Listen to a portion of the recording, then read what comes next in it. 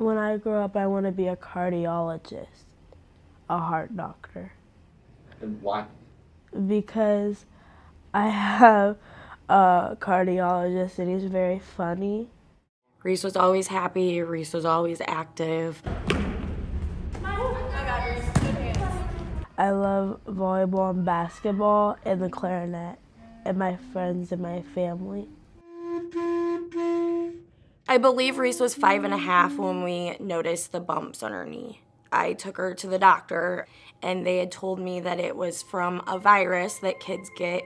Instead of getting better, they actually started getting a little bigger and I said, okay, we're gonna go see a dermatologist. So we did.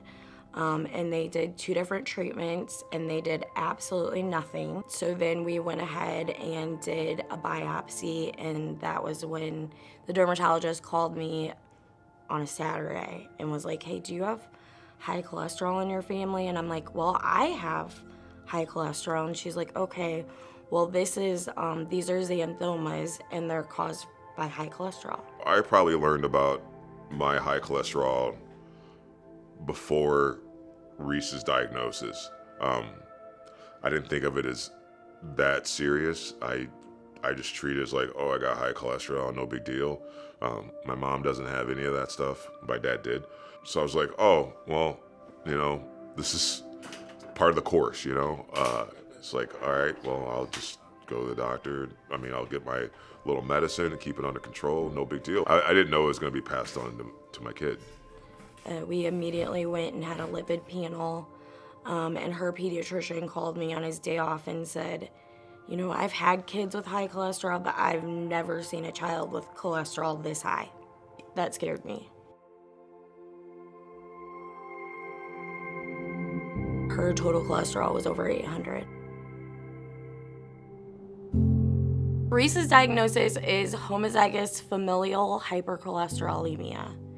And so for short HOFH, a rare severe form of familial hypercholesterolemia. They immediately started her on two different pills. It brought her numbers down a little bit, but not even close to being a comfortable level. Um, then she was started on an, an, injection that she did every two weeks. Um, and then last year, she started on an infusion every 28 days. Now you got practice today or is it another day? I can't remember. Today. We have a nurse come into our home and she gets the infusion, and that has really brought her numbers down.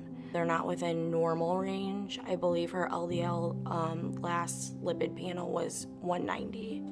So it went from, you know, almost 800 to 190. That's a, a big jump. What I would say to any parent that has high cholesterol and it, and it runs in their family, I would tell them that you need to get your kids checked. Um, it could be passed on. It, it is passed on. The earliest you can catch it, the the better it is. There are options out there. There's not a lot, but there are options out there, and they're working on on more. There's plenty of studies out there. They're working on more, but you have to get your kids checked. I mean, it's just being a parent. You just got to get your kids checked. I've seen kids as young as five have to have um, bypass surgery, and so Reece, you know, we've we've really been lucky there. The thing with FH is unless you have the xanthomas, there's no signs, no symptoms. The Family Heart Foundation is extremely important to us and our story.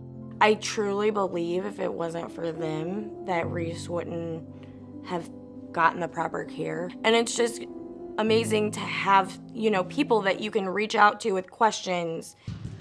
Seven! Reece's diagnosis doesn't stop her from doing anything, honestly. Right now, she's um, on the basketball team, on the volleyball team. Being active is good for your body, and it, um, if I play most sports, I keep on getting better, and then one day I'll be able to play for the WNBA or competitive volleyball. Yeah, I want to be an athlete, or a doctor, or both. I'm so proud of Reece. She is one of the toughest people I know. And I mean, I know some tough people, but she to be so young and to be so tough and to be so positive, like you don't you don't notice it. It's like, well, you just don't. It doesn't phase her, you know. She just like steps right up and just knocks it out of the park. I, I, I don't know how she does it. I mean, if I had to go through that, as much as she has to go through it, I'd, I, it, it'd probably eat at me. But she's like, it's whatever, and you know, I can't, I can't be more prouder than than that. My name is Reece, and I have H O F H.